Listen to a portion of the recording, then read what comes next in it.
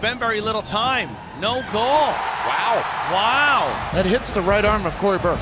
It does. Welcome to Instant Replay presented by Cheez It for MLS Week 9. I'm Andrew Wiebe with Charlie Davies. Big week. Handballs, PKs, red cards galore. Charlie, get us started with the magic word. Let's go. And we start in Nashville, GEODIS Park to be exact. The very first game, Nashville are looking for their winner. Corner kick into the box. Walker Zimmerman rises. He can't get to it, but Cory Burke does, Charlie. But oh Lord, is that a chicken wing? It's not called on the field, but you and I can both see with our very own eyes, as can everybody else at home, including those in the video review booth, that that ball hit Cory Burke in the arm. It's not called on the field by referee Chris Penso and his crew, but Kevin Terry Jr., the VAR, flags him.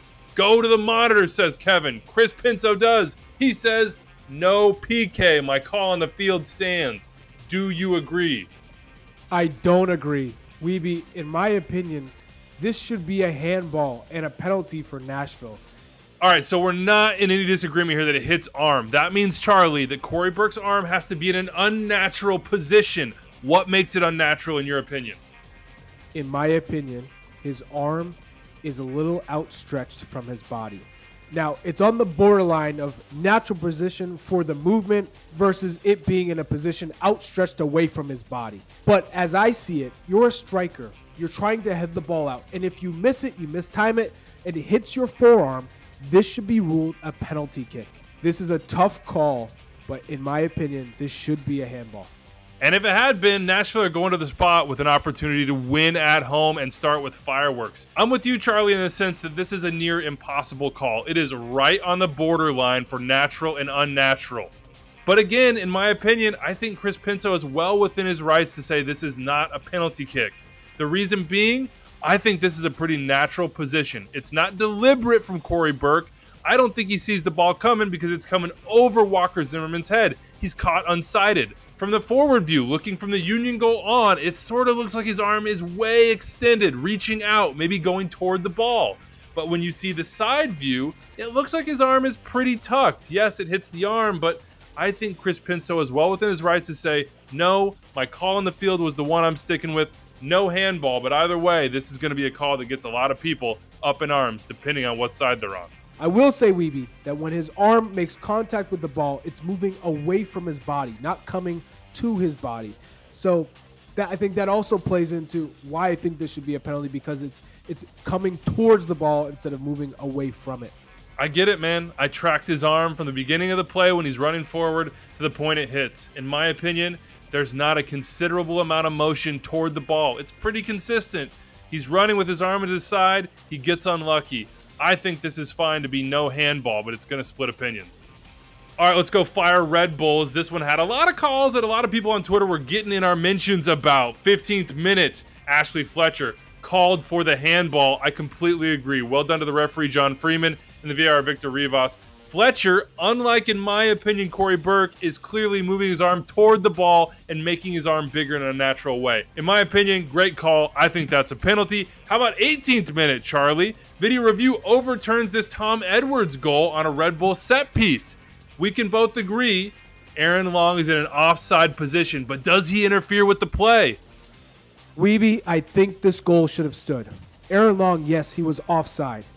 But when he came back on and tried to make a play for the ball, it was 04 who held on to him, not allowing him to try and get to the ball. And 04 couldn't have got to the ball. It's an unplayable ball. So I think that whole play is unnecessary and irrelevant towards the goal. Tom Edwards comes in and scores the goal. He was onside, and for me, there was no distraction for the goalkeeper. Therefore, this goal should have stood.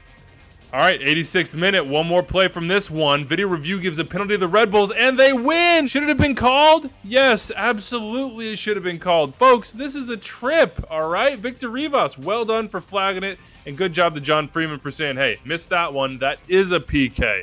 Red Bulls win. All right, Charlie, we got a little practice on that Tom Edwards goal. We have back-to-back offside interference calls. We'll start with Jonathan Lewis in Colorado on Lalas Abubakar's goal. Offside for you? Yes, this is offside. Right when it comes off the head of Lalas, Abubakar, Jonathan Lewis is making an attempt to screen the goalie. Yes, he's not it's not egregious. It's not right in front of him, but he did interfere. There was contact. He came away from it.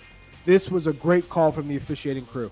And I think it was pretty clear in the RSL LA game as well that there was interference on the Joveljic goal. You see the little push there in the back that opens things up. No goal. Well done to both those crews. I just want to flag another two plays from the Colorado Portland game. Diego Rubio was not happy about the two yellow cards he got. He said, Hey, this is not right. Well, Diego, I know you're upset, man, but I think both of those are legitimate yellow cards. They both look like reckless tackles to me. One, you're late, lunging in. Two, you're rolling under a player's body, late once again. To me, those are fine yellows, man. I'm sorry. How about this penalty, Charlie? Orlando, Charlotte. Alan Franco draws it, almost gets Charlotte back into this game. They lose 2 1. Do you like this penalty call? Might be shoulder to shoulder. Wiebe, I do think it's a little harsh. Schlegel does come in and make contact shoulder to shoulder. I can tell you how many times I've been put on my rear end in that same position and was never awarded a penalty. The whistle didn't even come close to the official's lips. So for me, this is a tad harsh on Orlando City.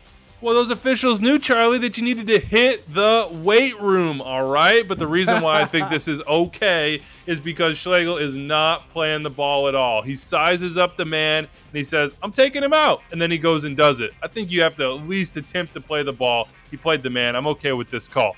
How about this? Daniel Salloi going under pressure in the 20th minute. He gets a PK call. You like this? No question. This is a penalty. Sporting Kansas City fans, here is your call from all the stuff I hear on Twitter that Sporting Kansas City doesn't get this and doesn't get that, this is your call. And here is your certification from the instant replay crew. Uh, we usually charge for that, Charlie, but this time it's on the house. If you want to see some good old poop housing from one Felipe Hernandez, check out this one on Daniel Salloi's second goal. He gives the Dallas goalkeeper a little tap on the back of the head. Never a red card for those of us that are mentioned saying send him off for that, by the way. And here are some certified second yellows. Let's run through them quickly, Charlie. Brandon Servania, come on down. What are you thinking? Yellow card. Here you go. Damion Lowe, you're looking for a yellow card too. Would you like to take down Adam Buksa as the final man? Did someone say two yellows? Yep, I did. Ding, ding, ding, ding. And not to be outdone, Jairo Quinteros, who I thought got harshly done by initially, Charlie, but you spotted it with your eagle eyes. What happened here? Well, Wiebe, it's the case of I'm already on yellow card. I come from behind with a reckless challenge, stepping on the foot of a center forward who's checking into his own half. Not the smartest play. Oh, no, siree, Bob. That's it for us, though. Let us know what you think. Anything you disagree with or agree with, whatever it might be. And if you'd like a certification, get in our mentions. Big thanks to our producer, Rich Hernandez, and our editor, Phil Levanco. For Charlie Davies, I'm Andrew Wiebe. We'll see you next time.